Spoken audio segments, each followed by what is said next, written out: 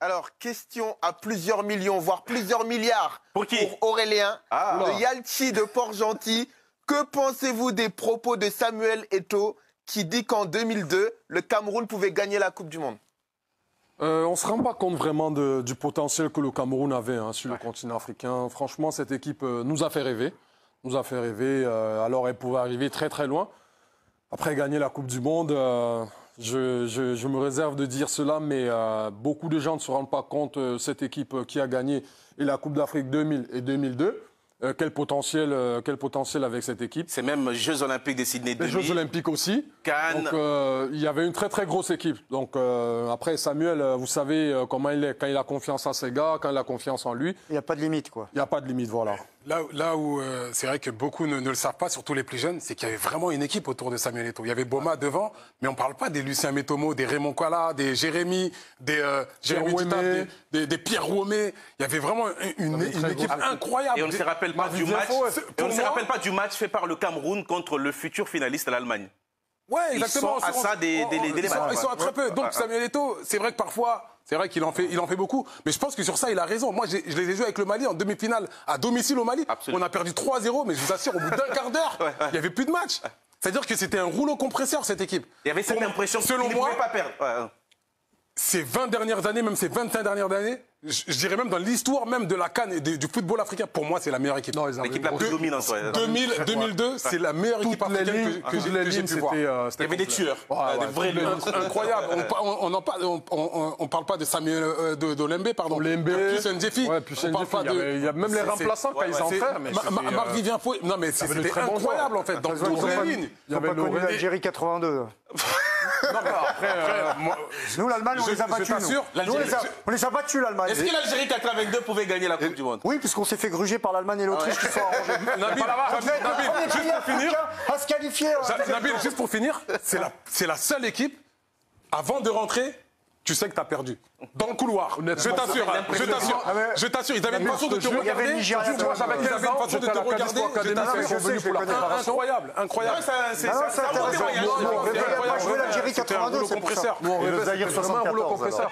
Et le Nigeria 94. Ouais, Ouais, était pas mal. fort. Ouais, c'était pas mal. Et l'Égypte aussi. Jusqu'en après, qui fait 98, on est Non, déçus mais du le, parcours du Zaïre, Nigeria. euh, Ah, non, à l'heure, faut arrêter là. Quoi, le Nigeria Ah, mais nous parle du Zaïre de 1900 Ah. combien Allez, messieurs, Ouais, mais là, c'était. Non, mais le euh, Nigeria, c'est un Là, truc on de parle fou. de l'ère Non, moderne, on parle non, non, non, d'intensité, d'impact physique, on parle de. Vous savez, on peut en parler des heures et des heures. hein. Quand vous nous lancez là-dessus, euh, c'est. On va rebondir sur le propos de Samuel Eto'o qui ont fait beaucoup de bruit là où il disait en 2002, on avait une équipe pour gagner la Coupe du Monde. Salut à toi et bienvenue dans cette vidéo. Dans cette vidéo, on va épiloguer sur le propos de Samuel Eto'o. Mais avant de commencer, si tu me découvres à travers cette vidéo, ici on parle de foot. Ici, nous, on est passionné par le foot.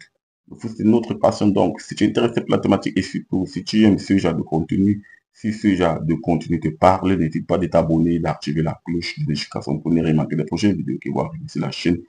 Si c'est fun, on est parti. Alors, Samuel Eto'o a fait une sortie qui a fait beaucoup de bruit, beaucoup de bruit. Là où il disait, en 2002, nous avions une équipe pour remporter la Coupe du Monde. Déjà, je voulais recadrer les choses. Il n'a pas dit en 2002, nous étions favoris pour gagner la Coupe du Monde. Il n'a pas dit cela. Il a dit en 2002, nous avions une équipe pour gagner la Coupe du Monde. C'est deux propos bien différents. Nous étions favoris pour gagner la Coupe du Monde et nous avions une équipe pour remporter la Coupe du Monde. Ce n'est pas la même chose. Une fois qu'on a compris cela, on va rappeler la poule du Cameroun en 2002. Nous étions dans la poule de l'Irlande, l'Arabie Saoudite et l'Allemagne. On fait match nul contre l'Irlande, un but partout. Ensuite, on bat l'Arabie Saoudite, un but à zéro. Et le dernier match contre l'Allemagne, on avait 4 points. On avait 4 points. Il suffisait d'un match nul pour qu'on se qualifie. Et le dernier match là, on a bousculé l'Allemagne. On a bousculé l'Allemagne, les gars. J'ai le souvenir d'un face-à-face d'Olimbe. Olimbe rate un face-à-face immanquable. Pour ceux qui s'en souviennent, peuvent en témoigner. Pour ceux qui s'en souviennent, peuvent en témoigner en commentaire. Olimbe rate l'immanquable, les face-à-face et tout. Des occasions vraiment très très franches. On a au moins 5-6 occasions franches. Et on les rate. Et lorsque tu joues contre une équipe comme la Mannschaft, comme l'Allemagne, tu es puni. Lorsque tu ne marques pas tes occasions, tu es puni. hein. Tu es puni. Tu es puni. Donc, on finit donc cette campagne-là avec 4 points. 4 points et on est éliminé. Lorsque tu regardes l'effectif du Cameroun, pendant cette période-là, on avait Rigo Besson, on avait Jérémy Nditap, on avait les Pierrot Mélène, on avait Feu Marc Vivien Fouy, on avait les Itame Mayer, on avait une équipe de malades, Samuel Tombouma, Anjo d'attaque, on avait une équipe de fous furieux, une équipe de malades mentales. Si déjà le Sénégal, qu'on a battu en finale de la Cannes en 2002, si le Sénégal a pu arriver en quart de finale, éliminé par la Turquie, moi je trouve que le Sénégal avait largement la place pour arriver en demi-finale. Si déjà le Sénégal qu'on avait éliminé en 2010, je rappelle aussi que le Sénégal avait une équipe de malades. Le Sénégal avait une équipe de malades. Les El Adi Diouf, les Fadiga, Kalilou Fadiga, les Abibé, une équipe de malades aussi, le Sénégal. Si le Sénégal a pu arriver en quart de finale, éliminé par la Turquie, le Cameroun pouvait le faire. On avait une équipe de fous, de psychopathes. Tu avais Patrick Bouma, Samuel Eto'o, les Itame Maye, une équipe vraiment de dingo. Donc, moi, je pense que Samuel Eto'o, il a largement raison. On avait une équipe pour remporter la Coupe du Monde. On avait clairement l'équipe. On avait l'équipe. Ce Cameroun était très, très fort, très, très fort. C'est une équipe qui a dominé sur le continent.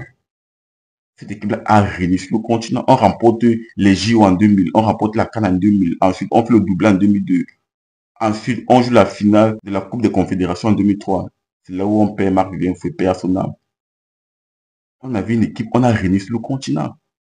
On avait une équipe de malades.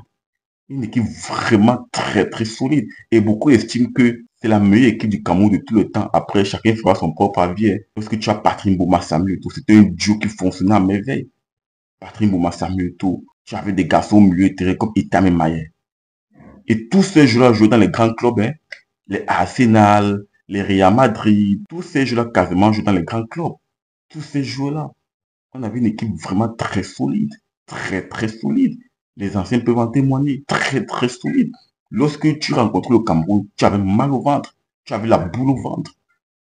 Donc, les amis, moi, je pense que Samuel Eto'o, les gens ont mal pris ses propos. Les gens ont un peu déformé ses propos. Il n'a pas dit, nous étions les favoris pour remporter la Coupe du Monde. Il a dit, on avait une équipe pour remporter la Coupe du Monde. Et pour moi, il a bel et bien raison. Après, partage-moi ton ressenti en commentaire sur la thématique. Est-ce que tu partages l'avis de Samuel Eto'o? Dis-moi tout et si ce n'est pas encore fait, n'hésite pas à t'abonner et d'activer la cloche de notification pour ne rien manquer des prochaines vidéos qui vont arriver sur la chaîne. Ce sont déjà très bientôt pour notre vidéo. Ciao, ciao